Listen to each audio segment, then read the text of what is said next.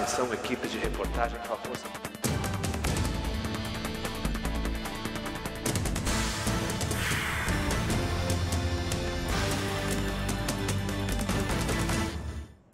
Olá para você que acompanha o Jornal em Tempo pela internet. Um policial civil foi morto hoje no estacionamento de um shopping na zona centro-sul de Manaus. Segundo a polícia, o crime foi um latrocínio, quando há roubo seguido de morte. Clientes e funcionários estavam assustados.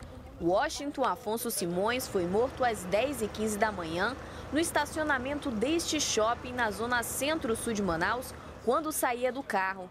Alguns objetos da vítima ficaram caídos no chão. Segundo testemunhas, os disparos que atingiram o investigador teriam sido feitos por dois homens em um Voyage prata.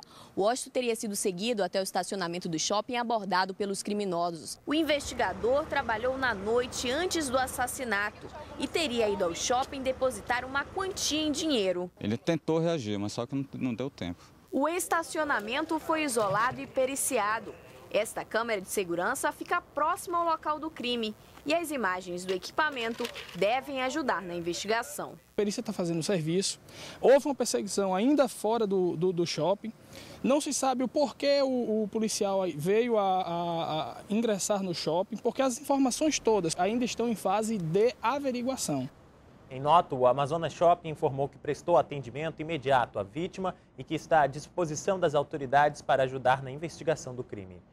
Um ônibus executivo foi assaltado agora há pouco na Avenida Constantino Neri, próximo ao Terminal 1. O motorista foi baleado e socorrido por populares. Um dos assaltantes foi capturado e espancado pelas pessoas que estavam dentro do ônibus. O homem foi levado para o quinto DIP. O outro assaltante continua foragido. Nove aeroportos podem ser fechados no Amazonas se não atenderem às normas exigidas pela ANAC. O prazo termina no fim do ano.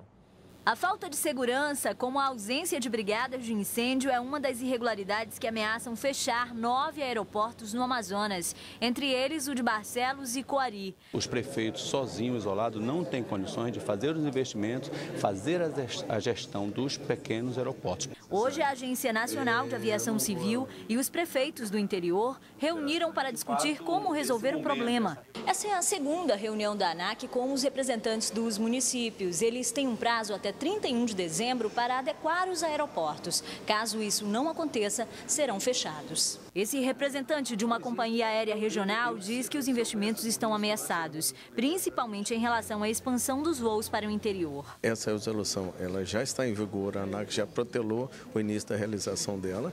E nós temos feito esse trabalho para que a gente possa adequar essas necessidades. Né? Durante a reunião foi solicitada a prorrogação do prazo, pedido que ainda vai ser analisado pela ANAC. A ANAC vai estudar isso caso a caso por aeroporto, verificando as possibilidades de cada município, de cada aeroporto, de modo a que se adequem e que a comunidade não perca o voo regular a que hoje eles têm direito. Hoje na Justiça Federal o dia foi de conciliação para quem comprou casa própria e não conseguiu pagar. Bancos e devedores entraram em acordo. A Justiça Federal selecionou 124 processos. São casos em que os mutuários questionam os valores devidos. A proposta de acordo veio do próprio banco, que ainda ofereceu benefícios. Temos casos de desconto de até 90%. Em alguns casos, é, pagando as custas finais, já vão levar abaixo da hipoteca. Teria que ver caso a caso, né? Mas as propostas, de uma maneira geral, são muito atraentes. Dona Maria tem uma dívida de 37 mil reais por atraso no pagamento e agora tenta negociar. Baixou para 15. Aí a prestação estão querendo me cobrar 500 reais no apartamento todo rachado e eu não tenho condições. Muitos financiamentos estão quitados, mas por causa das mudanças na moeda e correções ao longo dos anos, ficaram saldos residuais. Mais de 1.300 processos, como estes, estão tramitando aqui na Justiça Federal em Manaus. E já está sendo estudada a possibilidade de criação de mais rodadas de acordo para liquidar esse tipo de processo. Além de desafogar a justiça, a conciliação pode evitar aborrecimentos futuros. Existem sentenças que, pela parcial procedência, desagradam as duas partes e a posição do juiz tem que ser respeitada.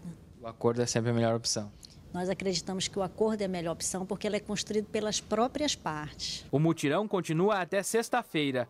Novos processos devem ser selecionados para conciliação até o fim do ano. Daqui a pouco, a repercussão na Câmara sobre a saída de Mário Frota do PDT. E ainda, a Amazonas Energia tenta explicar as interrupções no serviço na capital e no interior. É depois do intervalo.